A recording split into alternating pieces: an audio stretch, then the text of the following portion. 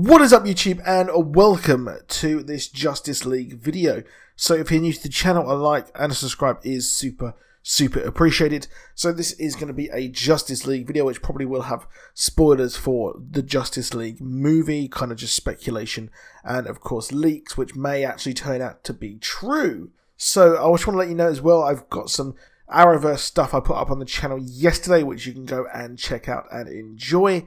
And I've got a Walking Dead video coming up as well. Further to this, I also have hit 10,000 subscribers, which I am super, super happy about. I have to thank you all for watching, liking, subscribing, and sharing. And also, I will be doing a Q&A this weekend.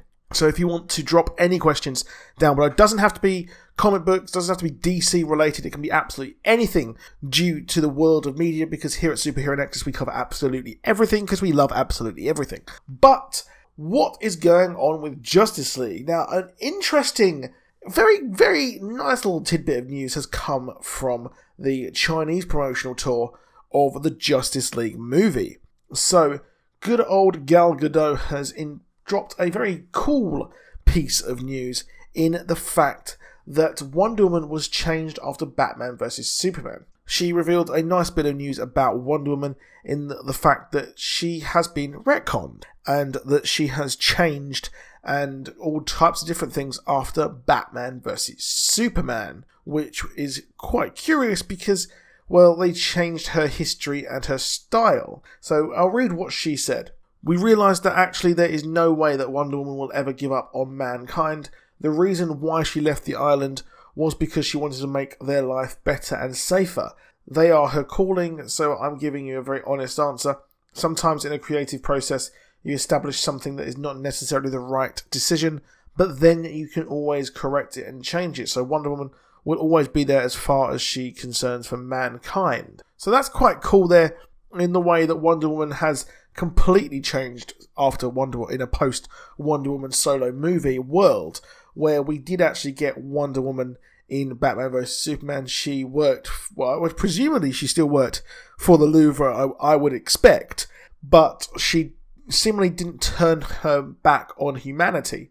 So, what is weird here is the fact that so she was interest, she was in the world in Batman vs Superman, and Gal Gadot is saying that well, she never turned her back and that is what's changed after Wonder Woman. So part of me is like, well, she did still exist in this world. She was going to the Lex Luthor party.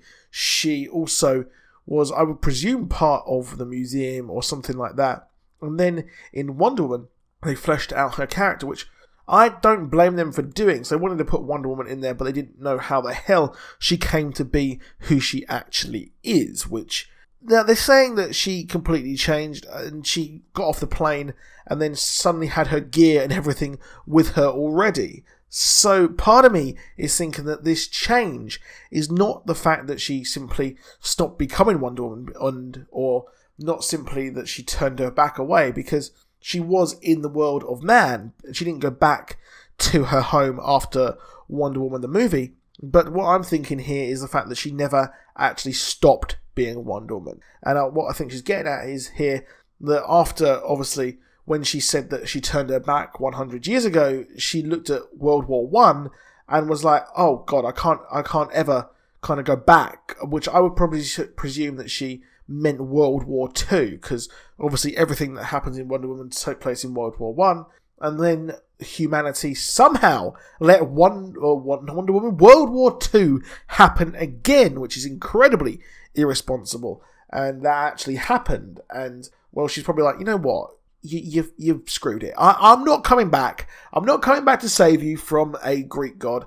I'm not coming back whatsoever to save you. You're done. But no, I think what they've changed here is simply the fact that she came back and, well, she stood, stayed in the world going around and becoming who she actually was and being Wonder Woman, which I, I think if that happened, they're going to have to forget the whole meta-human image thing where she wanted the image actually stolen or stolen from Lex Luthor or stop him from actually having. I guess they're going to have to forget that and simply Wonder Woman was retconned to not have to want that. So it can be weird if you go back and watch all these movies together. And I think that she actually stuck around and helped out, which I think what will happen is hopefully we learn more of her world and her history during Justice League, and then we also learn more in the Wonder Woman 2 movie, in the sequel to her solo movie. I expect this will probably set, take place after Justice League, but what I hope is it is a villain from her past, and then we can have flashbacks and things like that, we can get a modern day adventure, which I think would be really, really bleeding cool, which is something I want to see. So, as well as this, we've got some very interesting leaks over on the internet all about the upcoming movie. And one thing here is the fact that we got a leak about Green Lantern. So we all know that there is going to be some sort of prologue or flashback scene to Steppenwolf's first invasion of Earth.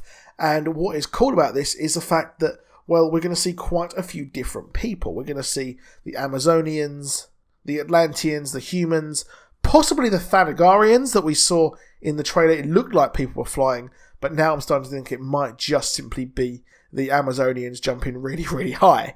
And we also got to see either Zeus or Shazam in the movie as well, in the one of the past trailers just gone. So I'll let you decide who you think that could actually be.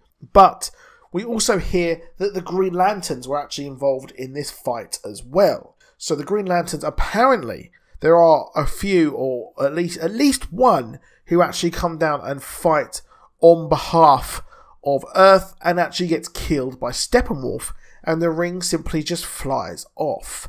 Now, this is coming out of the Chinese screenings, and as well as this, they are also coming out of the Paris Comic Con story as well. So that's quite a big thing there that we'll get that. And I think probably that's the closest we'll get to having a Green Lantern in the movie.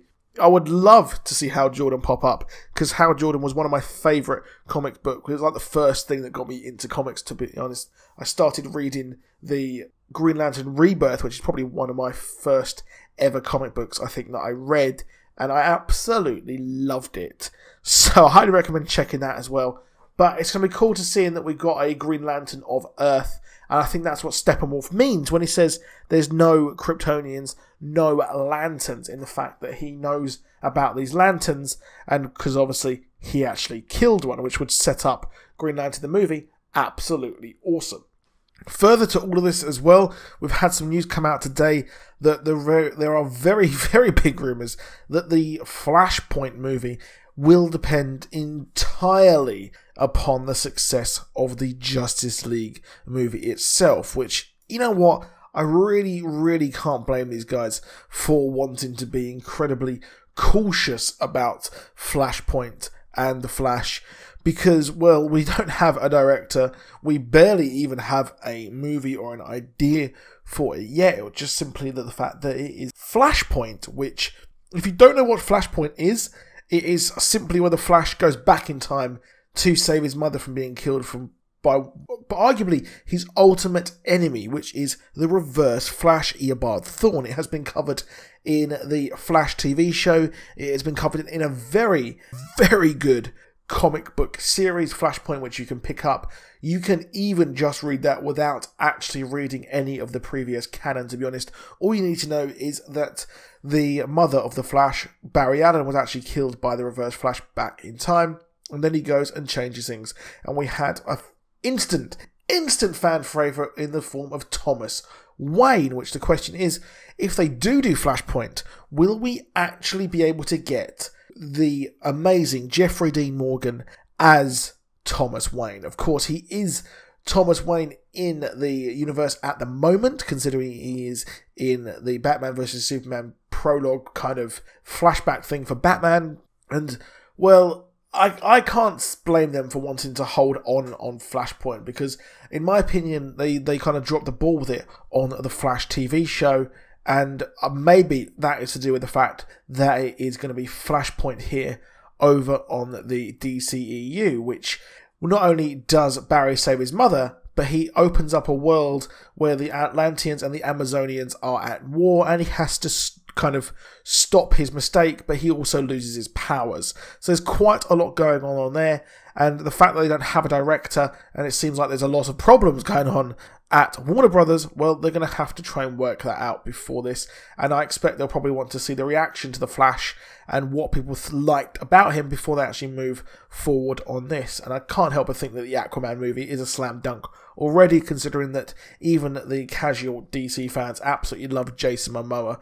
But that is it for this video. Please drop a like, please do subscribe, and I'll see you soon. Goodbye.